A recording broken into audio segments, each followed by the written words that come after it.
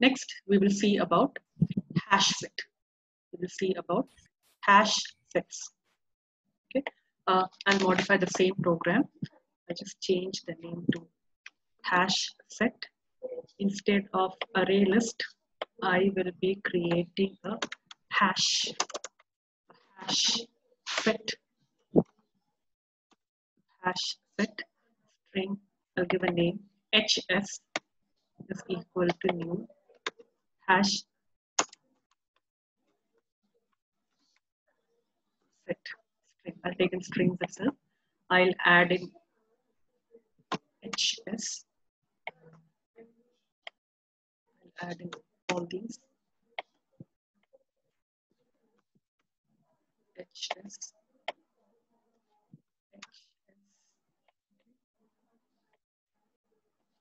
hash set. I'm adding a duplicate.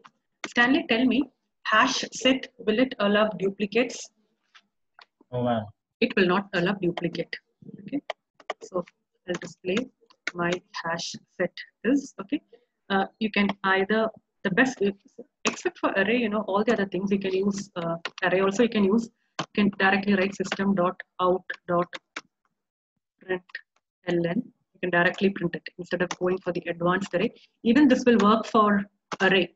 Okay, the only difference is when you go for an advanced for loop, uh, you will get things you know not in a very unordered kind of way. When you directly print your collection, you will get it very ordered with a comma and so on. We'll see that. We'll see that now. Okay, so just delete off all this. Okay,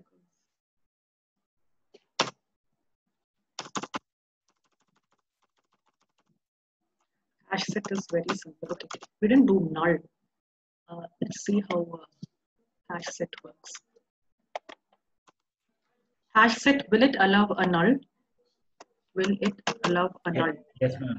Okay, it will allow a null. All the other operations are the same. Okay, you can remove, set, all that are similar to the array.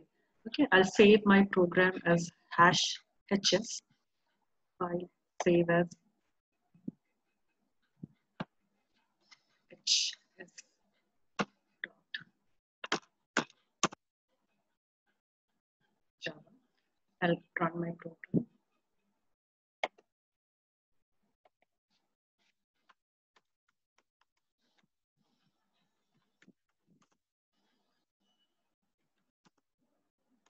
I hope you can see my screen, my command prompt.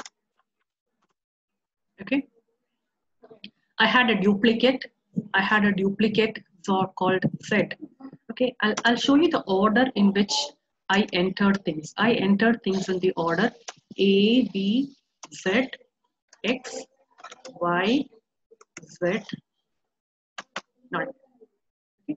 This is the order in which I entered, but you know, because Z was duplicate, it was it won't come an error. It will directly be eliminated. The second one onwards will be eliminated. Null can be accepted, no problem. Only thing is, you know, your hash set will come in a haphazard way. You have no control on the order. And even this is what I told you. When you directly give an SOP on your collection, you will get it in a much more ordered way. Like you know you'll have those square brackets at the end you can even have your commas and all that all that come in by default you can try the same for your array okay if you do sop array directly instead of going for the advanced for loop you will get the same kind of an output which looks much more uh, standard and prettier. Uh, one thing which you can do is uh, try inserting a null into your array. We didn't do that you can do it yourself and check. Try inserting a null into an array okay? Uh, like you know just as we did earlier you can give array in your program give array dot add null compile your program run the program and see what happens. See what happens in an array you will be able to run the program. Only thing is an exception will be caught. An exception will be caught because you know arrays they do not allow nulls. You can try it for yourself. I had left it out.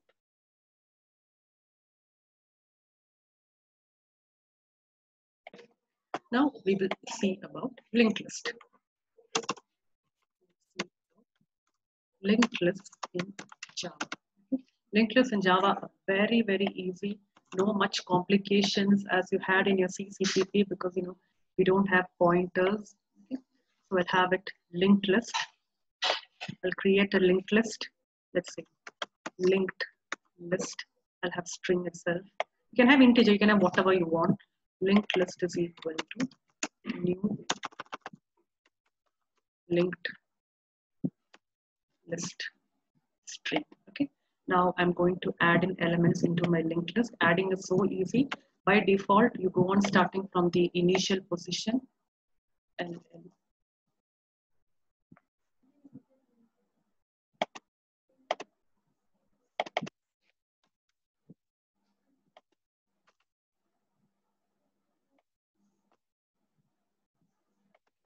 uh, I've got all these elements, duplicates, nulls and all wouldn't be a problem. Uh, my linked list is, my linked list is, okay. Now in linked list, let's learn a few more things because that is quite important. Okay. Now, initially you have A, B, C, E, F, G. I'll, I'll it like this so that when you see the output, it is much more easy. A, B, C, D, E,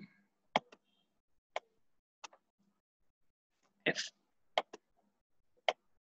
Okay. Now, in your linked list, you can add by default or you can add in the first and last positions. Okay, so I'll just add an element called first over here so that it is easier when you see the output just like you add in the first element, you can add even in the last element. So uh, I'll add in the last element, let's say last, I'll add last. I'll print out my linked list.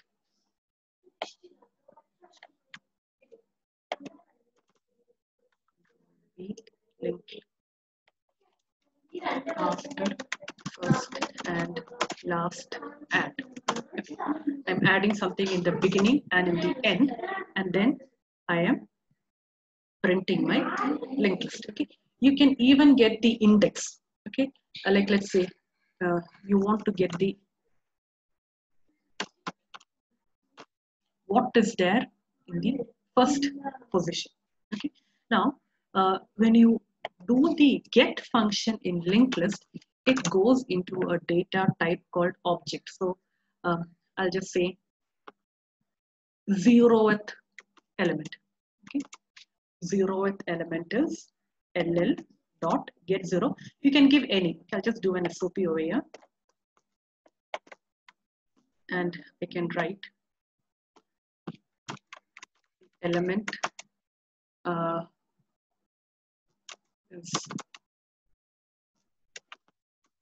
element is I'm getting the zeroth element. Okay. You can even use a function called set. Okay.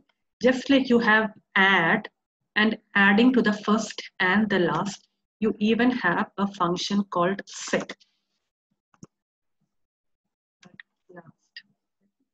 Now, set also similar. Yes. ഇച്ചിരി phone size വലുതാക്കാൻ പറ്റുമോ phone size ഇത്തിരി Just a വലുതാക്കാൻ minute, just a minute.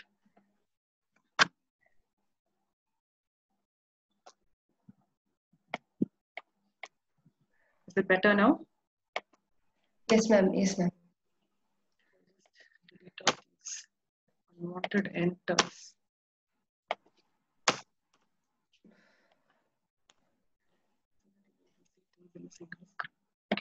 Now we were talking about the set, the set method. Okay. So uh, set works similarly to your add, add first, add last. Only thing is you can set it to a particular index. Let's say I'm setting at, in the zeroth place. Add. I'll just get something changed. Changed. I just I'm giving all these names so that you are able to understand. Okay. and then I'll just do an SOP.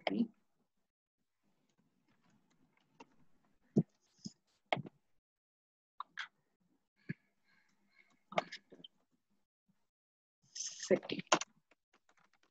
After change. I think you know, just save this program, show you the output, and then delete all stuff. I save the program, run the program.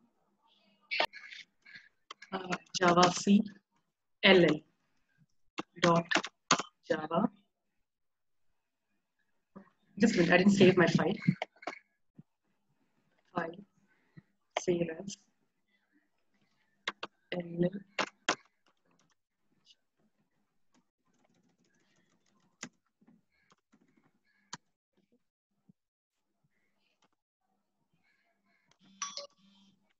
Java LL. Okay. I added A, B, C, D, E, F null in the beginning. After that, what did I do? In the beginning, add first, I added first. Add last, I added last. And then I tried to get the element at the zeroth index. Zeroth index, I have first. I got that. After that, I tried using the set. Okay, I gave what? I gave set.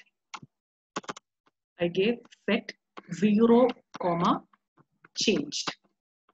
Okay, and that is how I changed first. Instead of first, I now have a new thing called changed first. First was taken away, and then I got change first.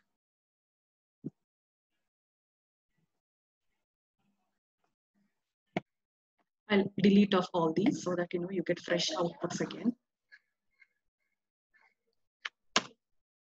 Now we just have a normal linked list. Okay. Uh, now we'll learn the remove. Uh, remove is very simple. You just uh, remove. You can uh, either give the index. You can either give the index like remove one. Okay, which will remove the first element. Or you could say like you know remove B Will not work. Remove C, which would remove C, just like an array. Or you could even use something like this. Let's say remove first, which means, you know, the first element will be removed. Or you can write remove uh, last, where, you know, uh, the last element will be removed. And then we'll print an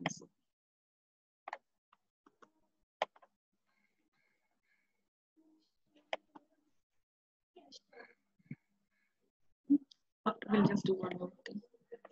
Uh, we'll even add one more. Let's say add the uh, third. You didn't see that. Add at a particular index.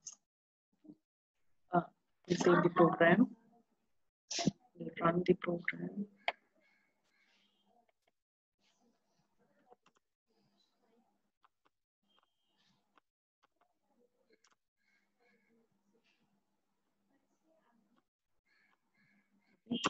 Java LL.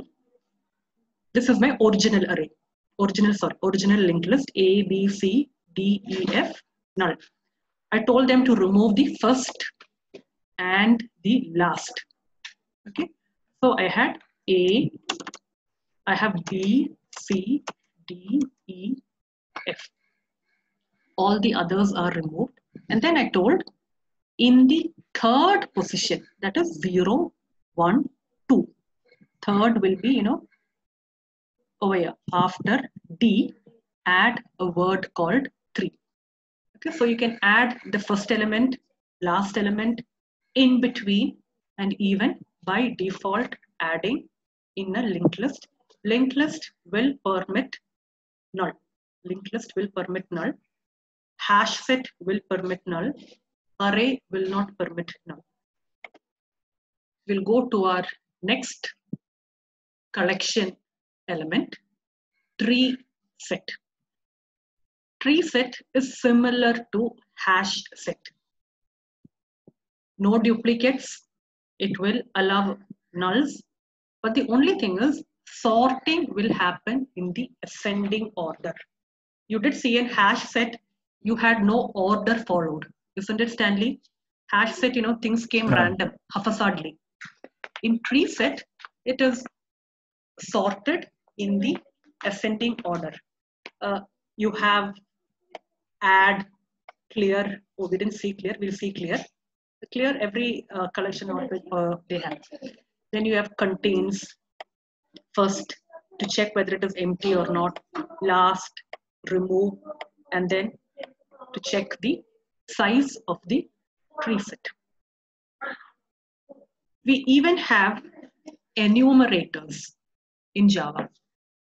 You will very you will be very comfortable with enumerators in C and CPP. Enumerators you normally use when you know all the possible values which a particular element can take at compile time. Uh, for example, days of a week, planets in the solar system, type of cards in a deck, and so on. Directions. All those come under enum, come under the enum. Now, uh, enumerators in Java, they are usually stored into an array. And the functions which are normally used are ordinal and value of. Value of is camel case. Ordinal and value of.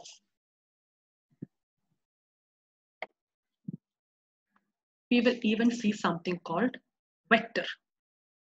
Okay. Vector also is a collection framework element. Uh, same way, vector is equal to new vector. Now, vector has two variables. You call them initial capacity and capacity increment, both which we will see when we do the programming. Please have it. You will have two new variables over here, capacity and capacity increment. Just like any other thing, you can add element, find out the capacity, check whether it contains or not, copy into, find out a particular uh, element at an index, first element, last element, the same things which you do everywhere, you will be able to do it in vector.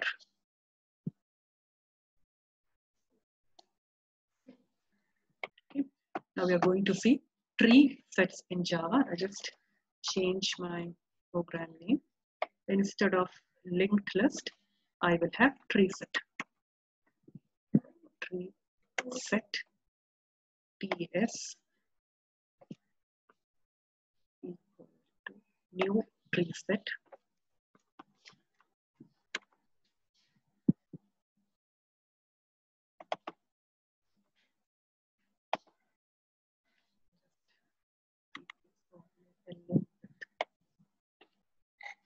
Uh,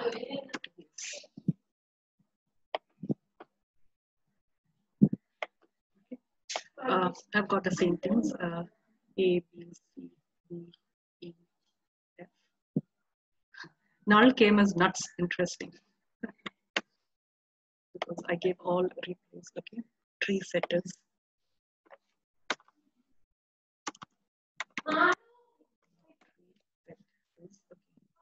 Just is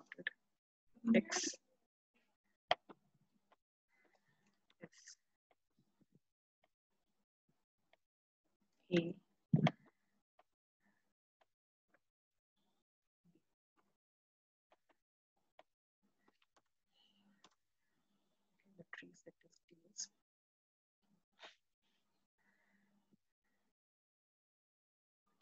Uh, remove first, remove last. We know all these. I will not, will not do it again. Uh, we'll see methods which we didn't see uh, till now. Okay. Now, tree set, you can find out the size.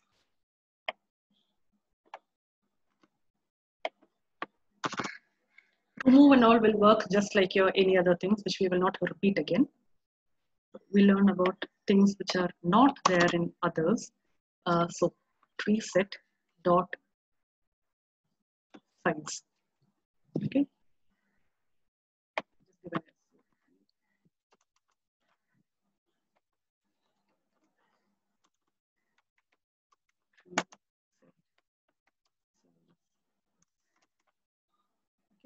Uh, just like you find ts dot size, you can even uh, find the last ts dot last ts dot first for a tree set.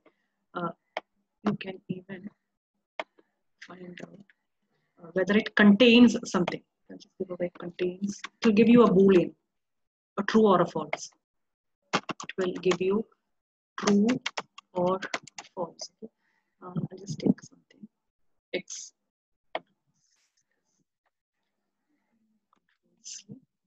Will let you know whether it contains S or not.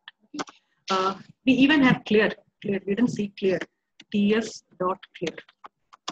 Okay? The whole thing will be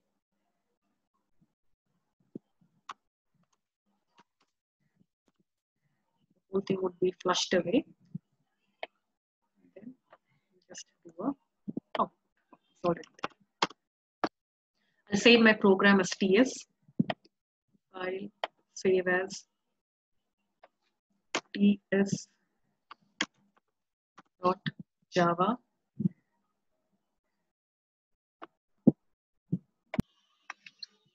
Java C.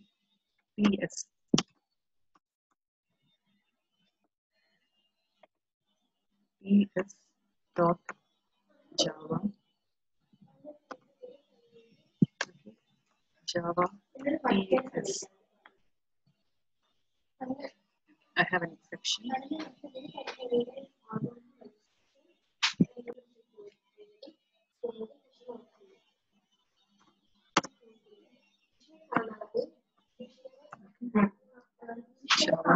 uh, the exception came up because i tried entering a null trees won't take up a null. Anyway, uh, I entered my elements in this order X, S, C, A, E, B. Okay, after which I entered a null. Null trees will not take, so I commented that away. So the exception went away. Now, even though I entered in this particular order, trees by default it will sort it in the ascending order. A, B, C, E, S, X. It came up in a sorted order, even though I entered in this particular order. You get the size. Okay. Uh, I gave a code like this. Just copy. Yes. Last. Okay.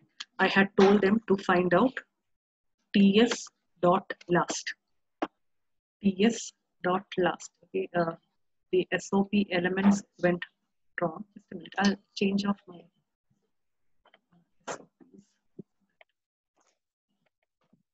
tree last is tree last is tree contains s.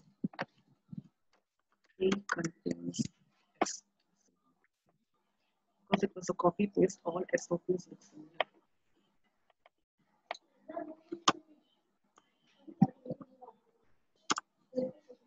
Stanley, I believe you're able to see my command prompt. Yes, ma'am. I made my SOPs a bit better now so that you'll be able to understand. Uh, Our tree set is size is 6. The last element, I gave ts dot last, a method called last to find out the last element. And then I did a method called ts dot contains, ts dot contains s. My tree, it contains S over here. So it did give me a Boolean value called true. Contains will give you a Boolean, true or false output.